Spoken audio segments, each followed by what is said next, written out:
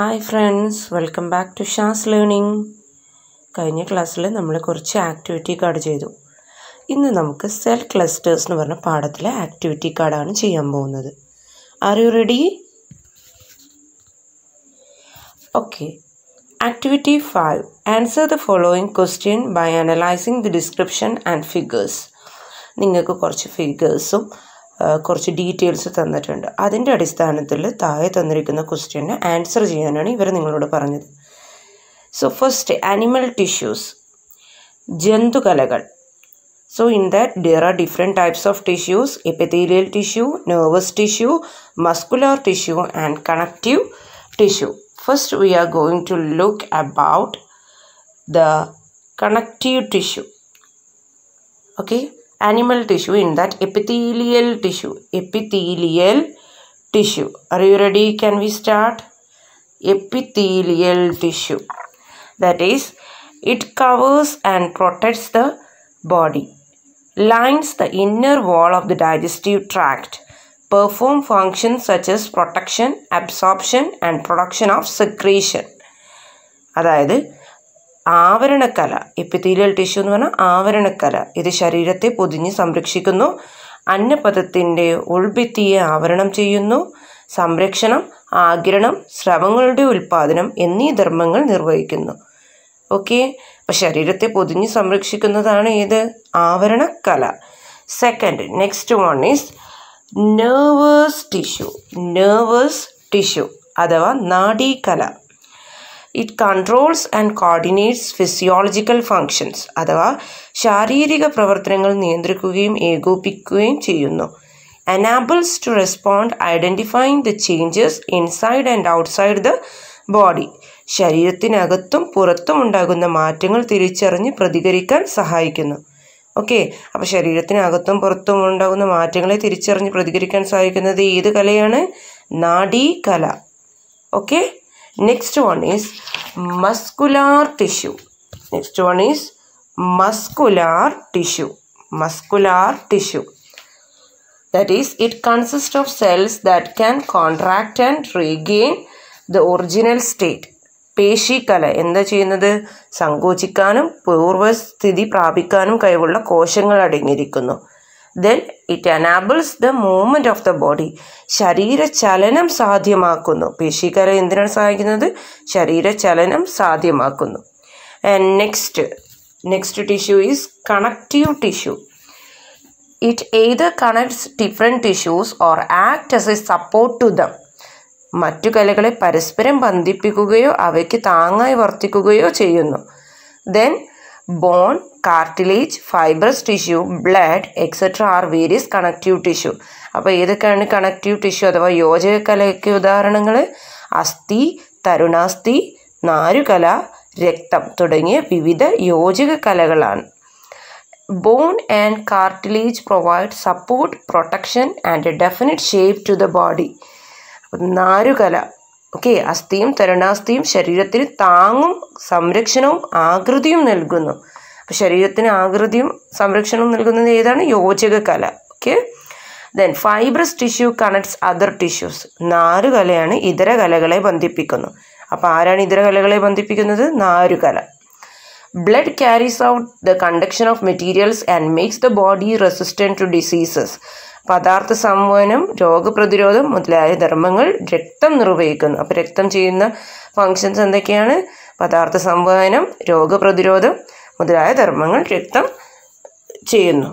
Okay are you clear and the next so based on it you are given some questions you have to identify the answers for this okay so first fill in the blanks ഇതാണ് വിട്ടുപോയത് പൂരിപ്പിക്കാൻ first question enables the movement of body അപ്പോൾ ശരീരചലനം സാധ്യമാക്കുന്നത് ഏത് കലയാണ്?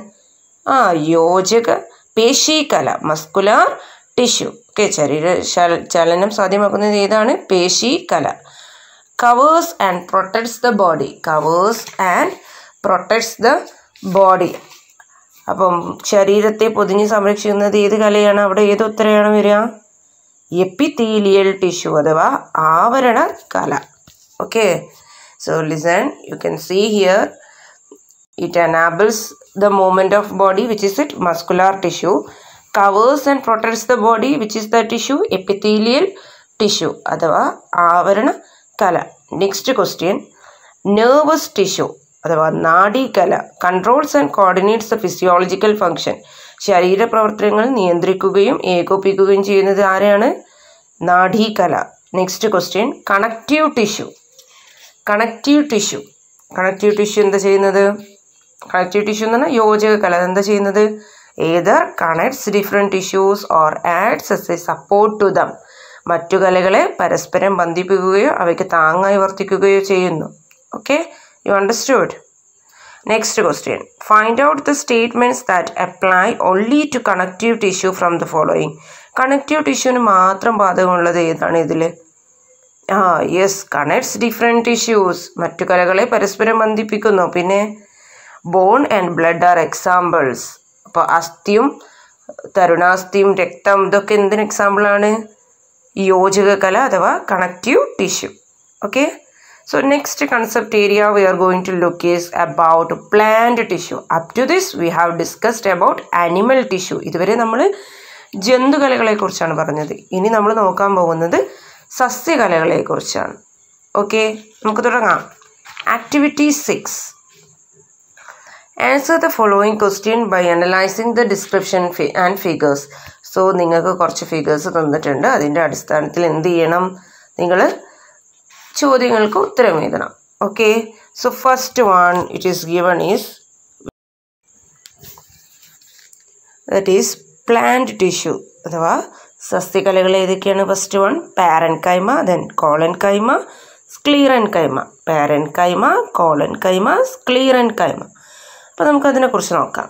റെഡിയല്ലേ പേരൻ കൈമ അപ്പോൾ പേരൻ കൈമിനെ കുറിച്ച് എന്താണ് പറയുന്നത്? It composed of cells with simplest structure ഏറ്റവും ലഘുഘടനയുള്ള കോശങ്ങൾ ചേർന്നതാണ് എന്ത്? Parenchyma. Seen in the soft parts of the plant മൃദുവായ സസ്യഭാഗങ്ങളിൽ കാണപ്പെടുന്നു. Helps in photosynthesis and storage of food. പ്രകാശ സംശ്ലേഷണത്തിനും ആഹാര സംഭരണത്തിനും സഹായിക്കുന്നു. അപ്പോൾ നിങ്ങൾ പറഞ്ഞ് പ്രകാശ സംശ്ലേഷണത്തിനും ആഹാര സംഭരണത്തിനും സഹായിക്കുന്ന സസ്യകല ഏതാണ്? Parenchyma. Okay? Next one is collenchyma. Collenchyma. Okay collenchyma. അപ്പോൾ കോളൻ കൈമ എന്തിനാണ് സഹായിക്കുന്നത്? It composed of cells that are thick only at the corners of the cell wall കോശഭിത്തിയുടെ മൂലകളിൽ മാത്രം കട്ടി കൂടിയ തരം കോശങ്ങൾ ചേർന്നതാണ് എന്ത്? കോളൻ കൈമ. കോശഭിത്തിയുടെ മൂലകളിൽ മാത്രം കട്ടി കൂടിയ തരം കോശങ്ങൾ ചേർന്നതാണ് collenchyma. It provides flexibility and support to plant parts സസ്യഭാഗങ്ങൾക്ക് താങ്ങും വഴക്കവും നൽകുന്നു. സസ്യഭാഗങ്ങൾക്ക് സപ്പോർട്ട് കൊടുക്കുന്നത് ആരാണ്? It is collenchyma. Okay next part is sclerenchyma. Sclerenchyma എന്താ ചെയ്യുന്നത്? It composed of cells that uniformly thick all over the cell wall കോശഭിത്തിയുടെ എല്ലാ ഭാഗത്തും ഒരേപോലെ കട്ടി കൂടിയ തരം കോശങ്ങൾ ചേർന്നതാണ് എന്ത്? സ്ക്ലീറൻ കൈമ അപ്പോൾ കട്ടി കൂടി എല്ലാ ഭാഗത്തും ഉള്ളതാണ് എന്ത്? Sclerenchyma it provide strength and support to plant parts സസ്യഭാഗങ്ങൾക്ക് താങ്ങും ബലവും നൽകുന്നത് ഏതാണ്? സ്ക്ലീറൻ കൈമ ഓക്കെ സോ അതിന്റെ ക്വസ്റ്റ്യൻസ് നമുക്ക് നോക്കാം. Then you can see vascular tissue അഥവാ സംവഹന കലകൾ the water and minerals absorbed by roots need to be transported to leaves and the food prepared in leaves need to be transported to different parts. അഥവാ സസ്യങ്ങളിൽ വേര് ആകിരണം ചെയ്യുന്ന ജലവും ലവണങ്ങളും ഇലകളിലേക്കും ഇലകൾ നിർമ്മിക്കുന്ന ആഹാരം വിവിധ ഭാഗങ്ങളിലേക്കും സംവഹനം ചെയ്യേണ്ടതുണ്ട്. ഇല്ലേ? സോ ആ ധർമ്മം ആരാണ് ചെയ്യുന്നത്? ആ സസ്യത്തിലുള്ള സങ്കീർണ കലകളാണ് ചെയ്യുന്നത്. അപ്പം സസ്യങ്ങളിൽ രണ്ട് തരം സങ്കീർണ കലകളുണ്ട് ഏതൊക്കെയാണ്? സൈലും ഫ്ലോയും സൈലും ഫ്ലോയും. അപ്പം സൈലം എന്താ ചെയ്യുന്നത്? സൈലം എന്ന് പറയുന്നത് എന്താണ്? നീണ്ട കോശങ്ങൾ ചേർന്ന് കുഴലുകളായി രൂപപ്പെട്ടിരിക്കുന്നു. വേര് ആഗിരണം ചെയ്യുന്ന ജലവും ലവണങ്ങളും ഇലകളിൽ എത്തിക്കുന്നു. അപ്പം വേര് ആഗിരണം ചെയ്യുന്ന ജലവും ലവണങ്ങളും ഇലകളിൽ എത്തിക്കുന്നത് ആരാണ്? തൈലം. അപ്പോൾ ഫ്ലോയം എന്താ ചെയ്യുന്നത്? ഇലകൾ തയ്യാറാക്കിയ ആഹാരം സസ്യത്തിന്റെ വിവിധ ഭാഗങ്ങളിൽ എത്തിക്കുന്നു ഓക്കെ ഫ്ലോയും സൈലും തമ്മിലുള്ള വ്യത്യാസം നല്ലോണം മനസ്സിലാക്കുക. Phloem food okay understood xylem carries water so you can see here question so transport water and minerals absorbed by the roots to leaves അപ്പോൾ ആരാണ് ജലവും ലവണങ്ങളും കൊണ്ടുപോകുന്നത്? സൈലം ഭക്ഷണ പദാർത്ഥങ്ങൾ ആരാണ്? ടെൽ മീ ഈ ആൻസർ എന്തായിരിക്കും? ആ phloem okay so next complete the following illustrations plant tissue നമ്മൾ നേരത്തെ പഠിച്ചു അല്ലേ plant tissue dash parenchyma അപ്പോൾ പാരൻ കൈമ എന്താ ചെയ്യുന്നത് നമ്മൾ പഠിച്ചത്? ആ പ്രകാശ സംശ്ലേഷണത്തിനും ആഹാര സംഭരണത്തിനും സഹായിക്കുന്നു. So helps in photosynthesis and storage of food next sclerenchyma അപ്പോൾ സ്ക്ലീറൻ കൈമന്റെത് എന്തായിരുന്നു? ആ സസ്യഭാഗങ്ങൾക്ക് വഴക്കും താങ്ങും നൽകുന്നു. Provide strength and support to plant parts ഇപ്പോൾ കോളൻ കൈം എന്താ ചെയ്യുന്നത്? Provide flexibility and support to plant parts സസ്യഭാഗങ്ങൾക്ക് താങ്ങും ബലവും നൽകുന്നു. ഓക്കെ അപ്പോൾ ഇതാണ് ജന്തുകലകളും സസ്യകലകളും. Okay I hope all of you understood these we can see in next class thank you take care